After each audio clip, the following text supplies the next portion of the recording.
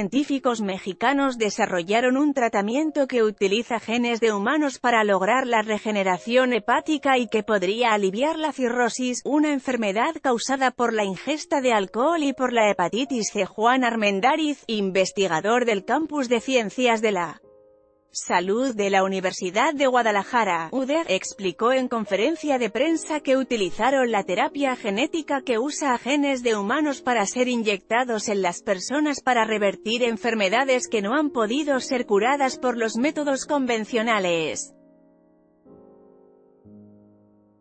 En el marco del Día Mundial de la Hepatitis que se celebra el 28 de julio, Armendariz, líder de la investigación, explicó que desarrollaron vectores adenovirales, virus modificados que no generan infecciones con un gen de las metaloproteinasas conocido como MMP8. Lee también, lo que debe es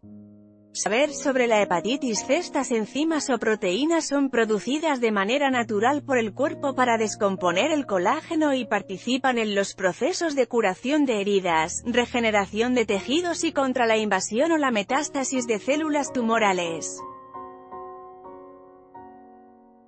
Los vectores adenovirales con el gen de la MMP8 fueron administrados en músculos y lograron estimular la regeneración hepática.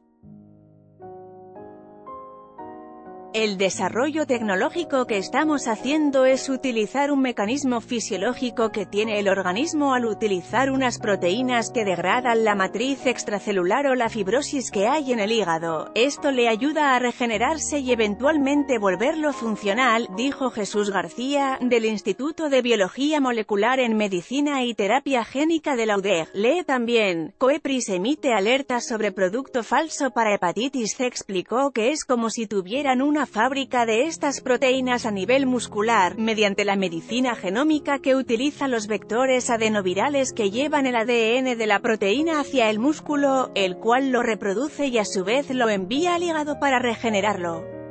La cirrosis no es causada solo por la ingesta de alcohol, ya que solo el 25% de quienes ingieren esta sustancia desarrollan esa enfermedad, sino también por la hepatitis tipo C o el cáncer de hígado, explicaron los especialistas. De acuerdo con la Organización Mundial de la Salud OMS, se estima que hay 71 millones de personas en el mundo con el virus de la hepatitis C y un número considerable de estos enfermos desarrollarán cirrosis o cáncer de hígado. Cada año, mueren unas 399.000 personas a causa de esta enfermedad, sobre todo por cirrosis y carcinoma hepatocelular. Armendariz dijo que este tratamiento hasta ahora ha sido utilizado en animales, pero podría ser utilizado también en pacientes con nefropatía diabética y cuyo riñón se ha deteriorado.